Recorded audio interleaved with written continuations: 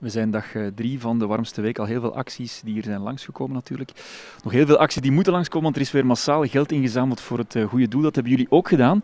Uh, we zitten hier met een leuke groep, zie ik. vertel eens, wat hebben jullie gedaan voor het goede doel? Um, wij hebben een hoka-reis gedaan voor eigenlijk um, vaders die in Yper in de gevangenis zitten om het onthaal van hun kindjes eigenlijk beter te maken. Dat ze eigenlijk niet meer zo schrik hebben om te gaan, dat het veel leuker wordt voor hen om ja, binnen te gaan.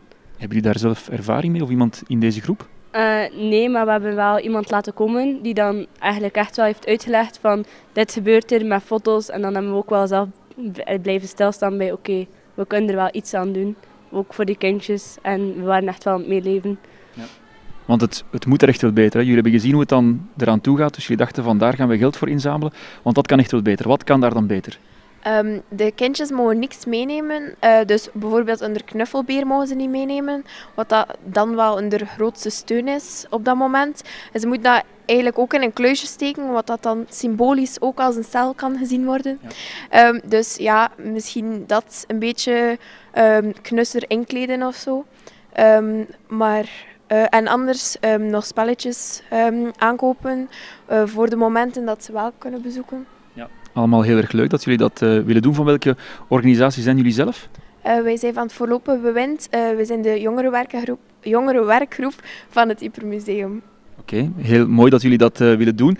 Wat hebben jullie weer precies gedaan? Een Goka-race. Een Goka-race. Is daar veel volk op afgekomen? Ja. Was het goed weer? Want nu is het wat minder goed weer. Voor een Goka-race heb je best goed weer natuurlijk. Um, het was een beetje koud, maar ondanks zijn er toch heel veel mensen gekomen. En de sfeer zat er echt wel dik in. Ja. Geen ongeval met de go-karts? Nee. Gelukkig maar. En dat heeft iets opgebracht natuurlijk. Je mag het onthullen, eens kijken. 2911 euro, bijna 3000 euro. Hadden jullie dat verwacht? Um, nee, want natuurlijk wel gehoopt, maar niet verwacht. Dat geld zal ongetwijfeld goed besteed worden, denk ik. Ja, we hopen het. jullie gaan blijven acties ondernemen, want jullie zijn nog jong. Jullie zijn nu misschien wel geïnspireerd geraakt om ja, blijven acties te doen voor de warmste week.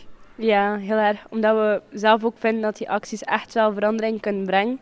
En als je dan alles zo'n beetje zelf mag doen, dan blijf je er echt wel bij. En dan heb je zoiets van, we kunnen dat nog doen en alles samen. En dan wordt de sfeer er echt wel in. En dan word je echt een hele gehechte groep. Ja. Het geeft een warm gevoel voor de mensen voor wie je het doet en ook voor jezelf, toch? Hè? Ja. Ja. Dat verdient een dikke vlam. Jullie mogen er allemaal samen op drukken.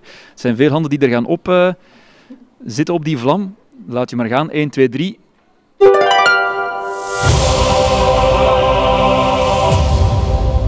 Mooi gedaan. Dank jullie wel voor jullie actie. Ja. Merci. Dank u wel. Dank u wel.